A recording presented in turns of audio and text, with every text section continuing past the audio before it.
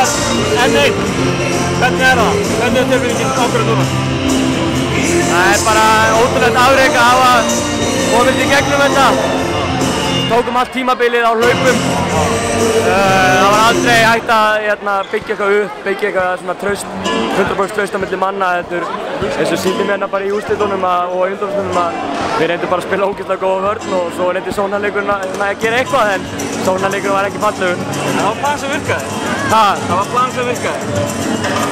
Já, ég myndi ekki vilja gera þetta aftur. Það, það er, þú einhvern tíma kemur hausin á þér að ná aldrei aðmennu undirbúinstímbili og, og byggja upp sterkar liðsett því að það sýnir sig bara að ef að liðsettin er ekki alveg fullkominn og næði ekki að búa til sterkarna heilt í byrjun þá er þetta doldið erfitt og en ég er ótrúlega stoltur að þessi dag að hafa komist í gegnum þetta.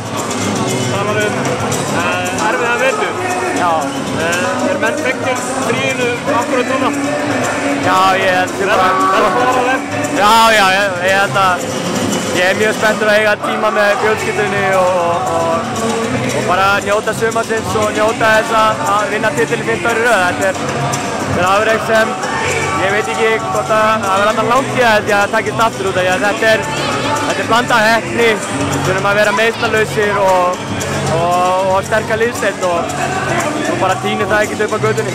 Uh, þetta hefur náttúrulega aldrei verið gert síðan úrslutakefni á setta og að vinna fyrkstunum í rauð og, og uh, í mjög, mjög mikið samkeppni í deildin í dag, þannig að þetta er í raun og veru algjörlega stórkostlega.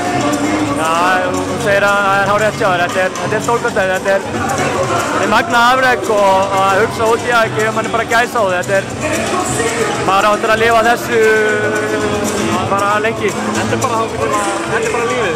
Já, já, og, og líka þessi tilfinning, maður, ég satt heima hálf sex bara, að hlusta okkur á músík og hugsa bara að njóta augnablíks og njóta þessu því að kannski var þetta síðan skipti okkar í útlutum á ferðinum þannig að það er einstokk að njóta því að vera hérna í káreimlunum með geggjar umgjörð að, upplega þetta, það er bara ekki allir til að fá að gera og það hóttar sinnum.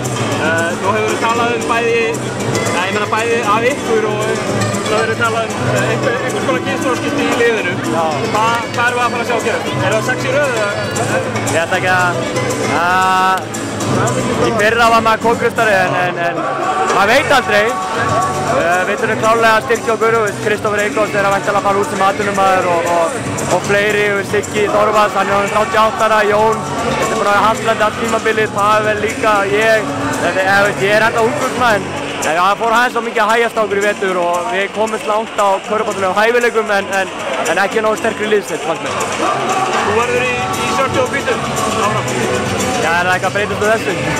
breytist það eitthvað á þessu? Við sjáum til. Ég lofa einhvern. Til aðvikið, takk.